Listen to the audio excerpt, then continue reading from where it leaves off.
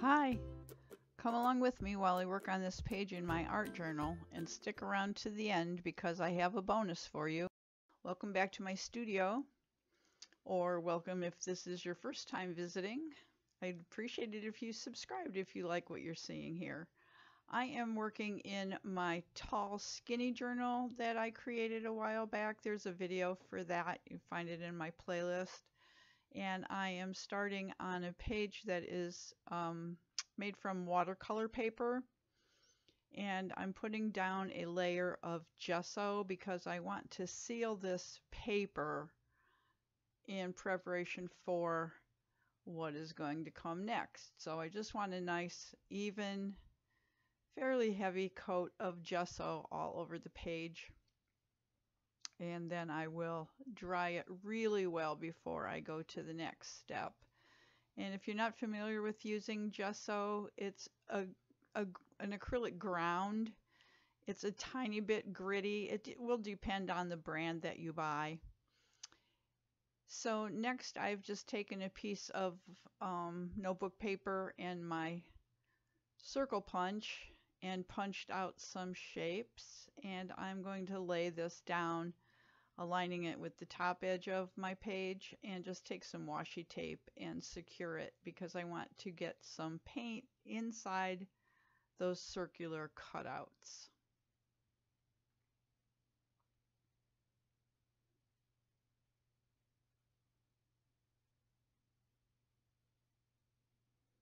Just adding tape here and there so that as I'm adding the paint, the paper doesn't come up too much and spoil my shapes.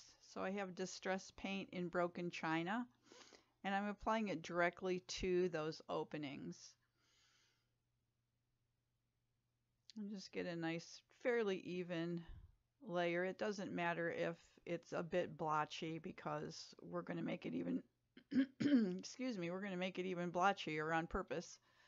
So just getting the paint inside of the circles.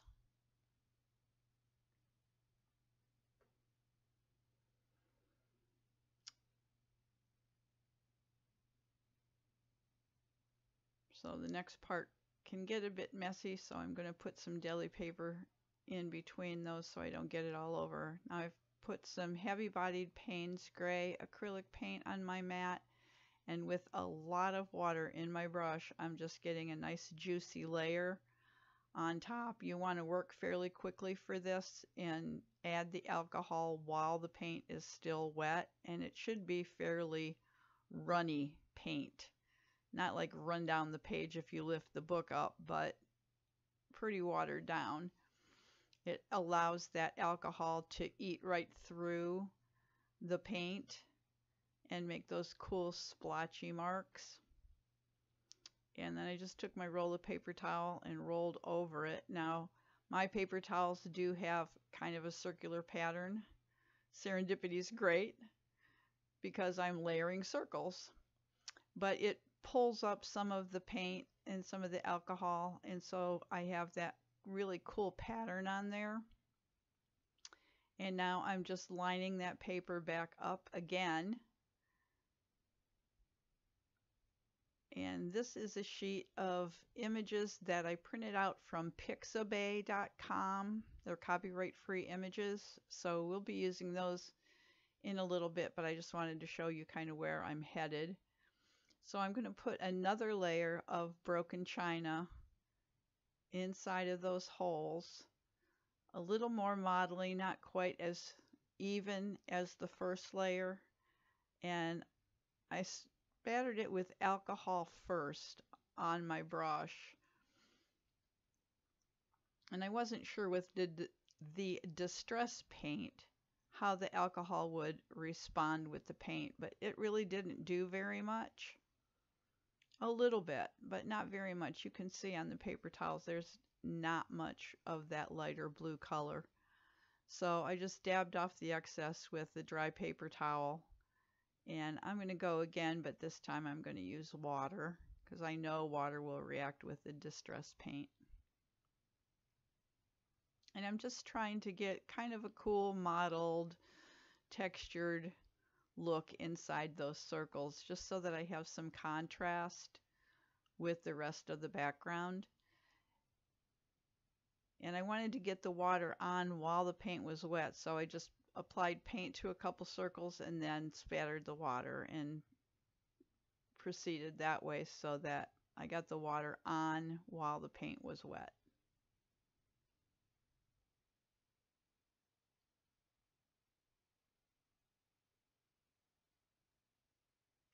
And back with the paper towels again. And this time I had more luck. It was lifted a little more of that light blue and gave me the mottled look I was going for. So time to get rid of that paper now. We're all done with that. And gave it a dry.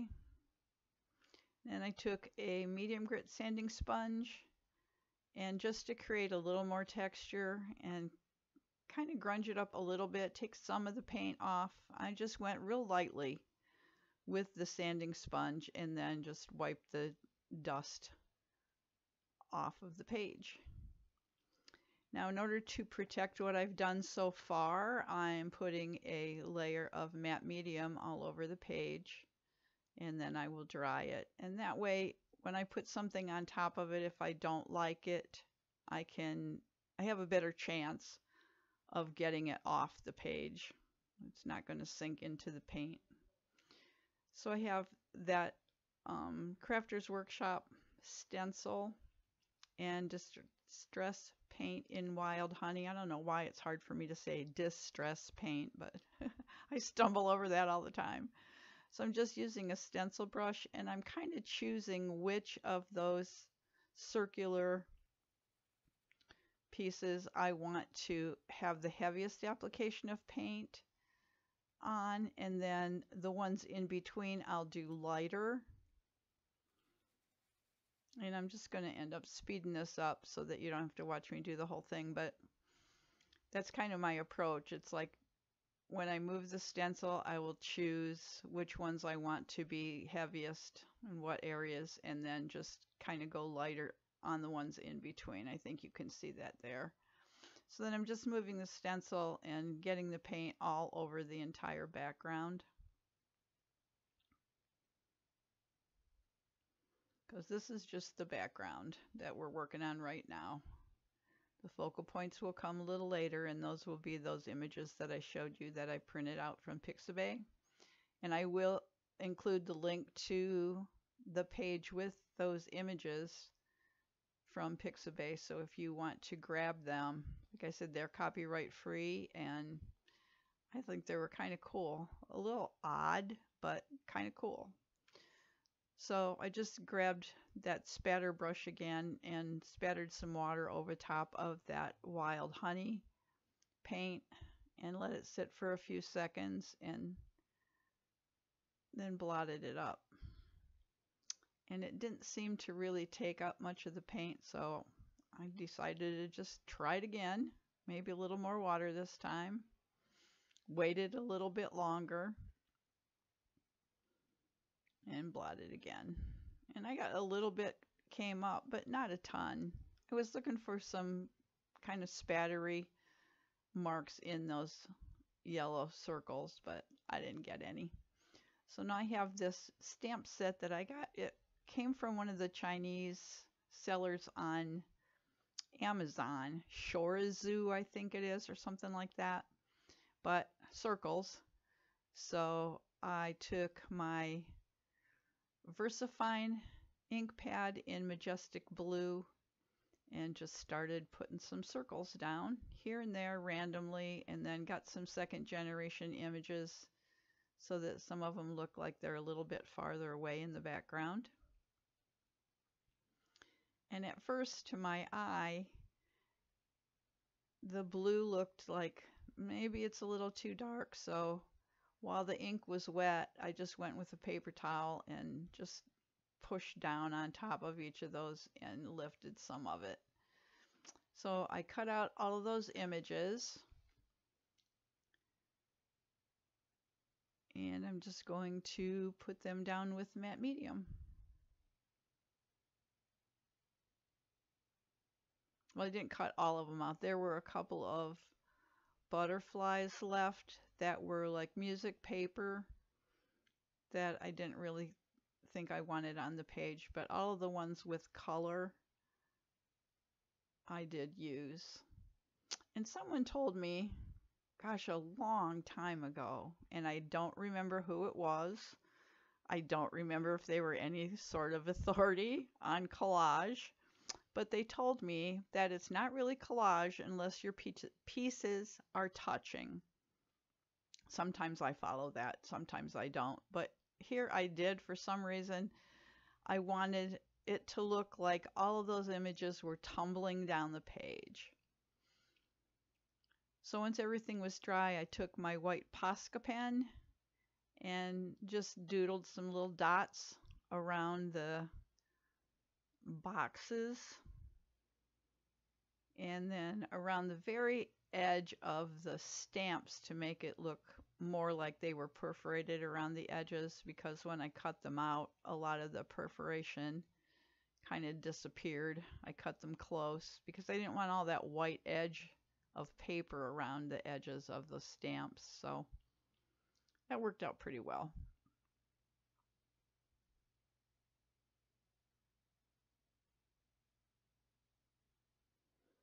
Just think these images are really interesting.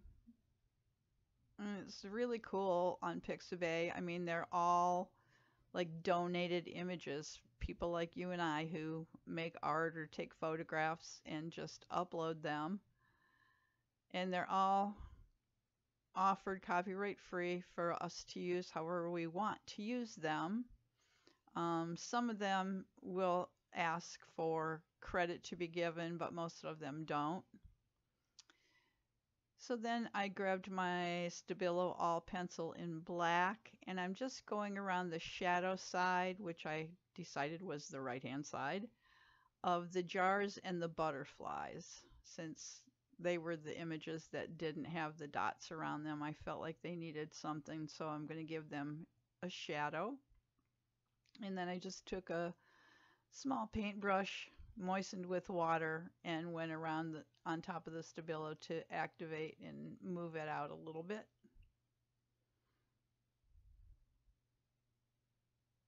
And it just it's a, just a super easy way to get a nice shadow. Just wipe your brush off every once in a while, dip it back in the water, and just keep moving it until you like it. Stabilo will reactivate later, so if I should happen to splash something on this page and it got onto that Stabilo, it would smear again, so you know. And then for some reason, these images, like I said, reminded me of like they were tumbling down the page.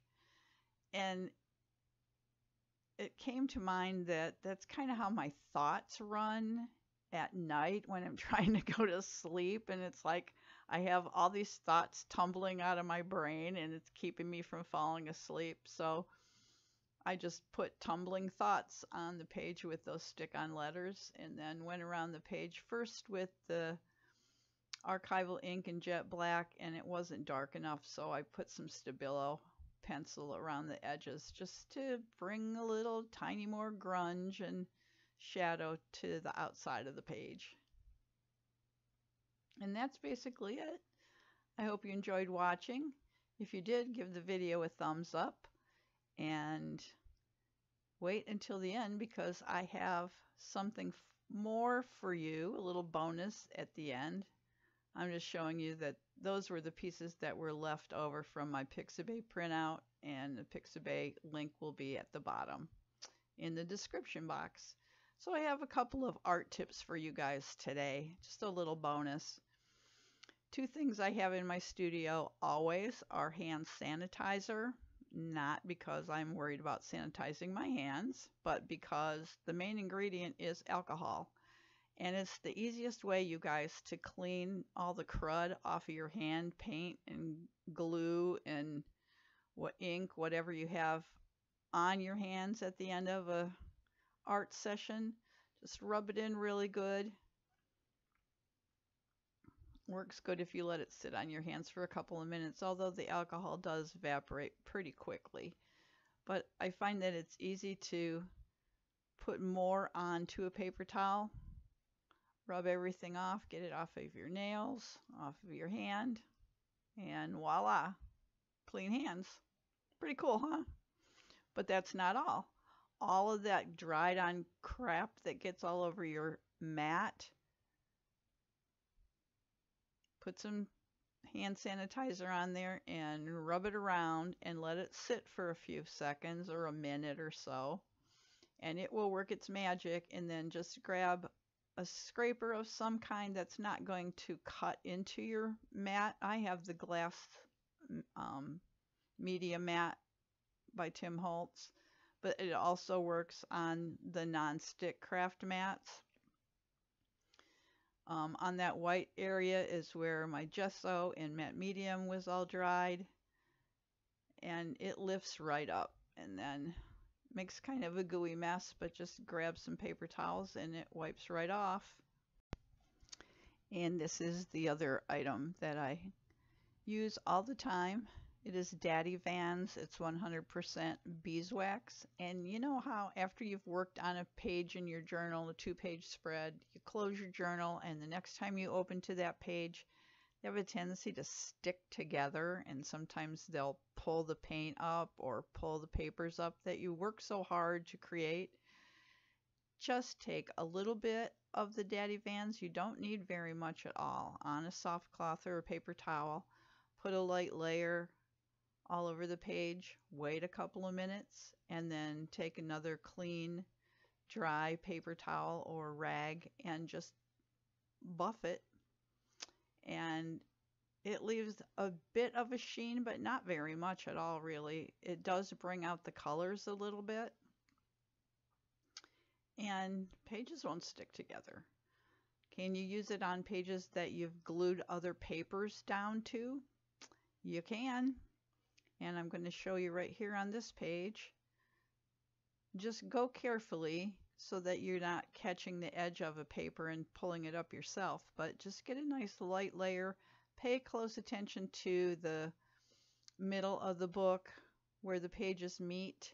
That seems to be the place where um, the paint gets pulled up the most. And then just buff it off. I actually think the pages look better after the addition of the wax. But the main thing is not to make them look better, even if they kind of do, but to prevent them from sticking together. And you'll know when it's buffed enough it won't feel sticky at all. And no more ruined artwork. Thanks for joining me today. I hope you enjoyed this video. If you did, give it a thumbs up, please. Share it out to your friends. That really helps my channel a lot. And if you haven't subscribed, I'd appreciate it if you did that and come back and see what's up next. And in the meantime, go make some art. Bye.